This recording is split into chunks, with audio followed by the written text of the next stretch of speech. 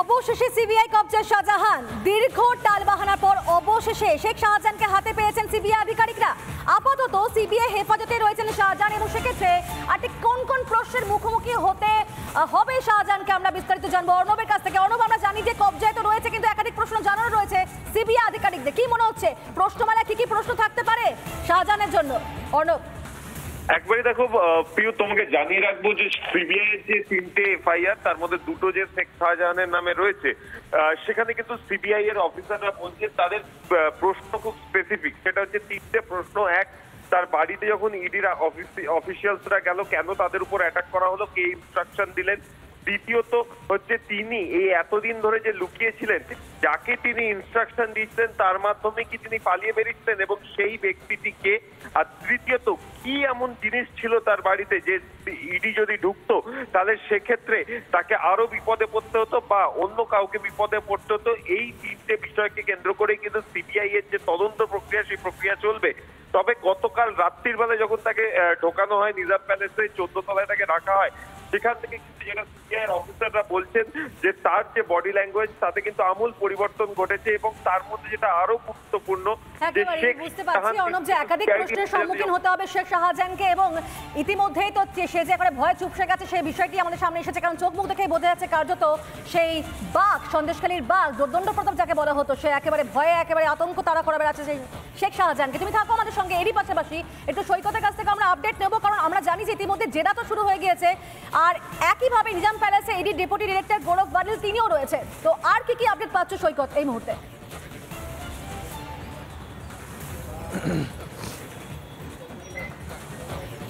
একদমই দেখো সিবিআই এর তদন্তকারী আধিকারিকরা অন্তত শেখ শাহজাহানের কেসে যে- দুটো যে দুটি এফআইআর জমা দিয়েছে বসিরহাট কোর্টে সিবিআই সেই দুটি এফআইআর এর তদন্তকারী আধিকারিক যারা, তারা ইতিমধ্যেই পৌঁছে গেছেন। একজন ডিএসপি পদমর্যাদার, একজন ইন্সপেক্টর পদমর্যাদার। অন্যদিকে ইডির ডেপুটি ডিরেক্টর গৌরব ভারিল ইতিমধ্যে নিজাম প্যালেসে চলে এসেছেন। কিছুক্ষণ আগেই তিনি নিজাম প্যালেসে গিয়েছেন। মূলত সিবিআই এর আজকের যে শেখ শাহজাহানকে জেরা, সহকর্মী অর্ণব যে বিষয়টা বলছিল, পাঁচ তারিখের যে ঘটনা, সেই পাঁচ তারিখের ঘটনা নিয়েই কিন্তু জেরা করবে। কারণ রাজ্য পুলিশ ইতিমধ্যে তাকে গ্রেপ্তার করার পর আদালতে যে নথি, সেই নথিতে জানিয়েছিল যে শেখ শাহজাহান তাদের জেরায় স্বীকার করেছে যে সেই হামলার নির্দেশ সে দিয়েছিল। কেন দিয়েছিল? এবং যে ইডি এবং সেন্ট্রাল ফোর্সেসের ওপর হামলার যে অর্ডার সেই অর্ডার দেওয়ার পেছনে কি কারণ থাকতে পারে? তাহলে শেখ শাহজাহান কি কিছু লুকোতে চাইছিল? যেগুলো প্রকাশ্যে এলে সে নিজে, তার ঘনিষ্ঠরা এবং তার দল অত্যন্ত বিপদে পড়তে পারে। সেই বিষয়টা কি? এবং কতদিন, এই যে পঞ্চান্ন দিন সে বিভিন্ন জায়গায় লুকিয়েছিল? কাদের বাড়িতে ছিল? কার কার কাছে ছিল, কোথায় গিয়েছিল, ভিন রাজ্যে গিয়েছিল কিনা, সীমান্ত পেরিয়ে চলে গিয়েছিল কিনা, গোটা বিষয়টা জানার চেষ্টা করবেন। ইতিমধ্যে শেখ শাহজাহানের যে দুটি মোবাইল, যেদিন পাঁচ তারিখে সেই যে হামলার ঘটনার নির্দেশ দেওয়ার সময় যে দুটি ঘটনা, যে দুটি মোবাইল ইউজ হয়েছিল, সেই মোবাইলগুলো সিআইডিও এখনও পর্যন্ত হাতে পায়নি, যতদিন তাদের কাস্টাডি ছিল সিবিআইও হাতে পায়নি। সেই দুটি মোবাইলের খোঁজ করবেন সিবিআই আধিকারিকরা এবং এই যে টোটাল ইন্টারোগেশন প্রসেস এই ইন্টারোগেশনের প্রসেস যে বয়ান রেকর্ড হবে তার একটা কপি ইডি নিজেদের হাতে রাখতে পারে। তার কারণ ইডি এই কেসে শেখ শাহজাহানের বাড়িতে গিয়েছিল সেটা নিজেদের কেস অর্থাৎ ইজি ইডি রেশন দুর্নীতির কেসে শেখ শাহজাহানের বাড়িতে তল্লাশিতে গিয়েছিল। সেই জন্য সিবিআই ইন্টারোগেশনে আজকের কি তথ্য উঠে আসে কি আউটকাম আসে সেই দিকে ইডিরও নজর রয়েছে। সেই জন্য ইডির ডেপুটি ডিরেক্টর সকাল সকাল পারে সৈকত যে ইডি অফিসারদের ঘেরাও করতে কে বলেছিলেন সেটা কি শেখ শাহজাহান তিনি বলেছিলেন নাকি বা হামলা চালাতে বলেছিলেন কিনা বা বাইরে যখন গোলমাল হলো তখন তিনি কেন বাইরে বেরিয়ে এলেন না? আটকালেন না কেন? একই সঙ্গে তল্লাশি চালাতে না পেরে যখন ইডি চলে গেল, তখন এতদিন শেখ শাহজাহান কোথায় ছিল? সবচেয়ে বড় প্রশ্ন। শেখ শাহজাহান এতদিন ধরে কোথায় ছিলেন, কোথায় লুকিয়েছিলেন কেন তার কোনো রকম নাগাল পাওয়া যাচ্ছিল না? একাধিক প্রশ্ন কিন্তু এই মুহূর্তে উঠছে এবং সেই প্রশ্নগুলো পরপর জোড়া করা হবে তাকে, শেখ শাহজাহানকে। আর ঠিক এই জায়গা থেকে, এই জায়গা থেকে কিন্তু আপনাদেরকে আরও কয়েকটা, বেশ কয়েকটা ইনফরমেশন দেবো যে এই যে শেখ শাহজাহানকে জিজ্ঞাসাবাদ শুরু করেছে সিবিআই আধিকারিকরা। আপনাদেরকে জানাব, শেখ শাহজাহানকে জিজ্ঞাসাবাদ শুরু করে দিয়েছে সিবিআই আধিকারিকরা এবং যে প্রশ্নমালাগুলো কথা বলছিলাম, আপনাদেরকে একাধিক প্রশ্ন এই মুহূর্তে উঠছে।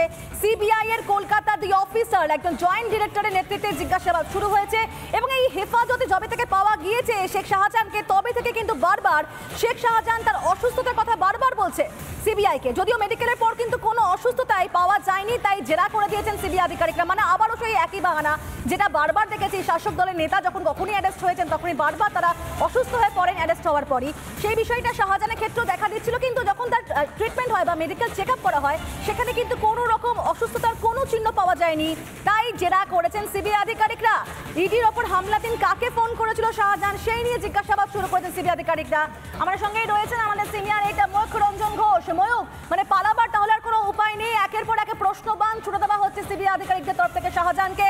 এবং সেই জায়গায় দুজন সিবিআই এর কলকাতায় দুজন অফিসারও রয়েছেন। একজন জয়েন্ট ডিরেক্টরের নেতৃত্বে জিজ্ঞাসাবাদ শুরু হয়েছে শেখ শাহজাহানকে। ময়ূক একদমই তাই। গোটা বাংলার এই মুহূর্তে জিজ্ঞাসা শাহজাহানকে কি পিঠে খাওয়ানো হচ্ছে? সিবিআই দপ্তরে শাহজাহানকে পিঠে খাওয়ানো হচ্ছে কিনা? পুলি পিঠে খাওয়ানো হচ্ছে কিনা? পাটিসাপটা খাওয়ানো হচ্ছে কিনা? কাল রাত্রে, মধ্যরাতে শাহজাহানকে ডেকে রাত্রে নৈশ ভোজে পিঠে খাওয়ানো হয়েছে কিনা? সেই সমস্ত কিছু জানানোর জন্য রিপাবলিক বাংলার একেবারে ইনসাইড ইনফরমেশন যেটাকে বলা হয়, সেই সিবিআই সূত্রে যে খবর আমরা পাচ্ছি শাহজাহান শেখের ইন্টারোগেশন দশ মিনিট আগে শুরু হয়েছে। দুজন স্পেশাল অফিসার এসিবি অর্থাৎ অ্যান্টি কারাপশন ব্যুরোর ইউনিট যেটা সিবিআই এর রয়েছে ইউনিট এক, তার গৌরব সিং বলে একজন অফিসার তিনি সুপার এবং তার পাশাপাশি উমেশ কুমার বলে আরেকজন অফিসার দুজনেই সুপার তারা ইনকোয়ারি করছেন এবং তার পাশাপাশি তাদের মাথার উপরে রয়েছে একজন জয়েন্ট ডিরেক্টর জয়েন্ট ডিরেক্টর, একেবারে পুঙ্খানুপুঙ্খ ভিডিওগ্রাফির যে ডিটেল সেই সমস্ত কিছু নিচ্ছেন। শাহজাহান শেখকে কাল রাত্রে কোনো ইন্টারোগেশন করা হয়নি শাহজাহান শেখ। বারবার বলছিলেন তিনি নাকি অসুস্থ। কিন্তু শাহজাহান শেখকে চিকিৎসার জন্য চিকিৎসক আনা হয় সেখানে চিকিৎসা করানো হয়। কোনো ধরনের কোনো অ্যাবনর্মালিটি শাহজাহান শেখের শরীরে পাওয়া যায়নি। কোনো ডিসকমফর্ট অনুভব করলে সেইটার জন্য আবার তাকে হাসপাতালে নিয়ে যাওয়ার ব্যবস্থা করা হয়। ইএসআই জোকাতে নিয়ে যাওয়া হয় এসএসকেএম নিয়ে যাওয়া হয়। দু জায়গাতেই রাজ্য সরকারের একটি হাসপাতাল এবং কেন্দ্রীয় সরকারের একটি হাসপাতাল। দু জায়গাতেই শাহজাহান শেখের কোনো ধরনের কোনো অ্যাবনর্মালিটি বা অসুস্থতা লক্ষ্য করা যায়নি। শাহজাহান শেখ কিন্তু বারবার বলছেন, আমি অসুস্থ, আমি ভীষণ রকম অসুস্থ এবং তিনি অসুস্থ হয়ে পড়ছেন। তার কারণ তার বডি ল্যাঙ্গুয়েজ সালমান খান বড় বড় তারকাদের মতন যেভাবে হাঁটছিলেন মস্তানের মতন, সেই বডি ল্যাঙ্গুয়েজ কিন্তু বদলে গেছে এবং অনেক কিছু হয়তো বেরিয়ে আসতে পারে আজ রাতেই।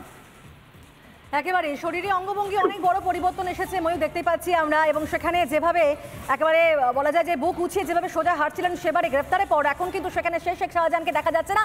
আর এই মুহূর্তে একটা বড় সড়ো প্রশ্ন, তাহলে কি এবার তিহার জেলায় যাচ্ছেন? তিহার যাত্রায় কি যাবেন শাহজাহান অনুব্রতর পর? সবচেয়ে বড় প্রশ্ন, কারণ সিবিআই আধিকারিকরা যেভাবে তাকে ঠাড়ে ভাড়ে বেঁধে রেখেছেন, একাধিক প্রশ্ন মানে তাকে বিদ্ধ করছেন, এবার তো সেদিকেই মনে হয় যাত্রা হবে। নজর রাখব সেদিকে, ধন্যবাদ তোমাকে ময়ূর।